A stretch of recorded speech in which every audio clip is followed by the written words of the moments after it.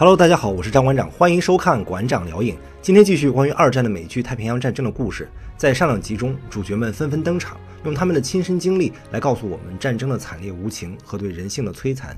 但同样带来一个问题，就是出场众多的人物难免让人困惑，分不清谁是谁。在描述三四集的剧情之前，容我稍微把已经出场的人物捋一捋。本剧中的主人公罗伯特·莱基、约翰·巴斯隆、尤金·斯莱奇、西德·菲利普等人均服役于大名鼎鼎的海军陆战队第一师。该部队几乎参加了美军在太平洋战争中的所有战役。本剧以斯莱奇的老兵永存、莱基的以亏为枕两本回忆录为雏形。莱基出生于费城，在新泽西长大，加入陆战队第一师一团二营 H 连，成为机枪手。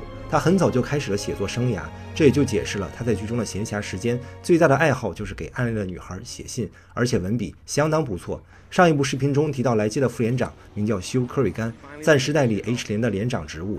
尤金·斯莱奇与西德·菲利普则是来自阿拉巴马州的同乡好友。后来，他加入五团三营 K 连，成为一名迫击炮手。而另一位主人公约翰·巴斯隆则是二战期间家喻户晓的英雄。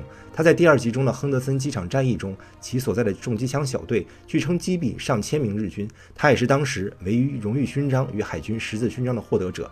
经历了瓜达卡纳尔岛的惨烈战斗，海军陆战一师的官兵们得到了休整的机会，搭乘军舰来到澳大利亚墨尔本，受到了澳洲人民的热烈欢迎，特别是青春洋溢的女孩子们。莱基和巴斯隆等人被安排到当地的板球场住宿休整，陆战队员们迫不及待地离开了营地，扑向墨尔本的街头消遣，酒吧买醉成为了最佳的休闲方式。巴斯隆和好友点了他们所有能说得上名字的酒，混在一起一饮而尽。澳洲军人显然不太喜欢这群盟军，大大小小的摩擦在所难免。莱基也没闲着，看上了一位优雅的棕发美女，借着酒劲儿跟着她上了有轨列车，要到了这位名叫 Stella 的联系方式。转过天来，早上出操的陆战队员们还没从宿醉中清醒过来，洋相百出。因为昨天的酒吧斗殴，普勒上校狠狠训斥了巴斯隆中士，并告诉他罗斯福总统已经批准授予他荣誉勋章，告诫巴斯隆应该起到模范表率的作用。菲利普也没闲着，带着刚认识的女孩与他的爷爷见面，恳求获得家人的许可和女孩约会。涣散的军纪让宪兵们忍无可忍，命令这些闲散的陆战队员们老实回营地待着。巴斯隆本想偷走宪兵的吉普车，好友规劝他还是不要再做出出格的事情。接着，在板球场草坪的授勋仪式上，巴斯隆中士被授予荣誉勋章，奖励他在亨德森机场战役中的勇猛表现。莱基循着 Stella 留给的纸条叩响女孩的家门，Stella 和家人都非常欢迎他的到来，用丰盛的晚餐款待着莱基，并留他在客房过夜。莱基只要帮他们收拾一下屋顶的葡萄藤就好了。Stella 的父母都是逃避战乱的希腊移民，女儿是他们最宝贵的财富。夜晚来临，Stella 推开莱基的房门，互有好感的他们度过了激情的一夜。隔天早上，莱基在屋顶帮忙收拾着藤蔓。眼下田园牧歌的生活给了他片刻的宁静。普洛上校找到巴斯隆谈心，动员他回国做军方的英雄，募集战争债券。巴斯隆一时有些错愕。莱基和小情人在田野里度过欢愉的时光，贪婪着抚慰着各自的肉体和灵魂。短暂的平静被 Stella 朋友战死的消息打破。参加完朋友的葬礼，Stella 和家人都很失落。妈妈和莱基在院子里谈心，祈祷他在战争中平安。莱基回到营地，和战友们一起接到命令，出发拉练。苦逼的乘坐火车来到郊外，带着少许的葡萄干和生米，三天内又行军一百英里，回到墨尔本。一家人走得脚上起泡，苦不堪言。更让人难过的是，当莱基再次找到 Stella，女孩改变了心意。尽管她很喜欢莱基，但不想将来某一天接到莱基阵亡的通知，一家人永远的沉浸在痛苦当中。心烦意乱的莱基喝得酩酊大醉，回到驻地接替尿急的查克站岗，又刚好遇到了查哨的科瑞甘上尉。满身酒气的莱基和他吵起来，甚至拿着枪指着他。于是莱基和查克被关了数天的禁闭，同时躺在温柔乡的菲利普也被宪兵叫回去报道。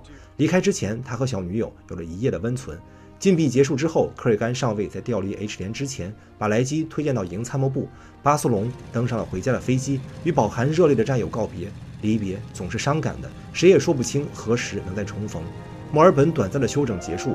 陆战一师再次起航，投入新的战斗。What happened, Sledge? You find out Bob was drilling your girlfriend? Dave wouldn't give you any more hand jobs. What was it? You shot outside the correction. 镜头来到尤金·斯莱奇这边。一九四三年的十二月，成为一名迫击炮手的他，训练中的表现不尽如人意。莱基和战友们搭乘着军舰来到格罗切斯特角，甲板上，他们唱着赞美上帝的歌来庆祝圣诞节。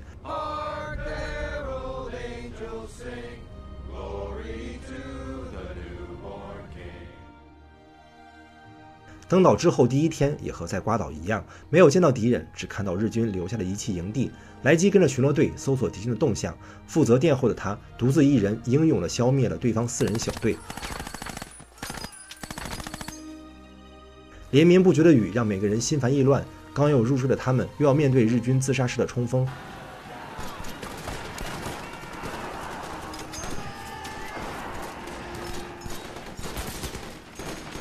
调往营参谋部的莱基不再参加一线的阵地战，而是负责阵线溃败时销毁机密文件。在重机枪的火力面前，日军的下场只能是活靶子。莱基告诉战友，昨晚冲锋的日军只是些伤兵，大部分的兵力被调往了岛上的小镇拉包尔。这一百多个自愿冲锋的鬼子，对上一千两百名陆战队员，只是无意义的自杀。莱基的巡逻队发现了这些伤兵的营地，缴获了日本军官遗留的皮箱和手枪。战友吉布森徒手掐死奄奄一息的日军，脸上的表情说不出是愤怒还是兴奋，显然他的精神有些崩溃了。莱基的手枪让战友们羡慕不已，他们阅读着以瓜岛战役制作的漫画，在漫画中，巴斯隆成为了英雄，回到国内募集债券，收获美女的拥抱，而其他人还在南太平洋连绵的雨夜里发霉。在写给薇拉的信中，莱基说已经两周没有见到日军。丛林和暴雨成为了他们现在最大的敌人。中尉拿走了莱基的日本箱子和手枪，而当后者找他索要时，大言不惭地说要征用箱子存放机要文件，其实放的只是他的私人衣物。而莱基也索性把手枪偷了回来。气急败坏的中尉第二天找到莱基，把他调去打扫厨房，同时发现莱基居然尿了床。军医给莱基的诊断是遗尿症，手里也没有合适的药物治疗，只好建议莱基随时保持干爽。这在下雨不绝的小岛几乎是不可能的。莱基打扫厨房的时候，发现法国籍的排长勒贝克把枪塞进了喉咙，用这种方式结束了噩梦般的生活。随后，莱基和战友们来到了帕夫福岛，战友朗纳的痢疾越来越严重，住处遍地是老鼠和螃蟹。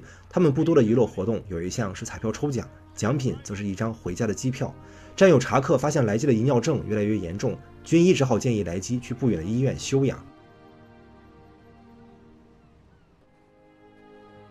来到医院之后，工作人员检查他的随身物品，没收了刮胡刀片。生气的莱基拿出枪，把对方吓了个半死。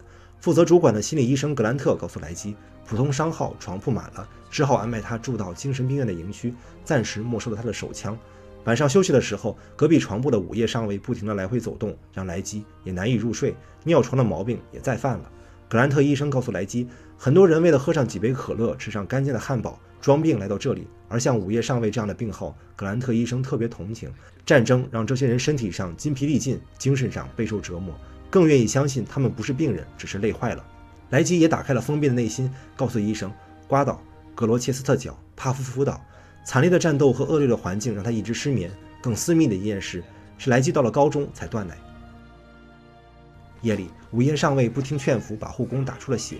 莱基叫来格兰特医生，帮他们把难缠的午夜上尉抬到单独的牢房。在这里，他见到了曾经的战友吉布森，后者之前打算偷一架飞机回家，计划失败后又想自杀。莱基找了格兰特医生，把那把手枪送给他，以换得早点归队。临走时，他和吉普森告别。在这场戏里，我们可以看到吉普森已经彻底的崩溃，怕是很难从伤痛中走出来。在陆战一师经历的这些苦战中，重机枪和炮弹的威力猛烈，血肉之躯显得无比脆弱。这些战士们不仅需要和疯狂的日军交战，还要熬过恶劣的天气，丝毫不给他们喘息的机会。紧张、焦虑、恐惧无时不刻包围着战士们的内心，也难免会出现像吉普森疯掉、法国籍排长自杀这样的案例。以上就是美剧《太平洋战争》三四两集的内容，欢迎收看并订阅我的频道。后续的太平洋战争每期视频我会优先发布在微剧院 APP。各位观众想追更的话，可以下载微剧院。感谢支持，我是张馆长，我们下期视频见吧。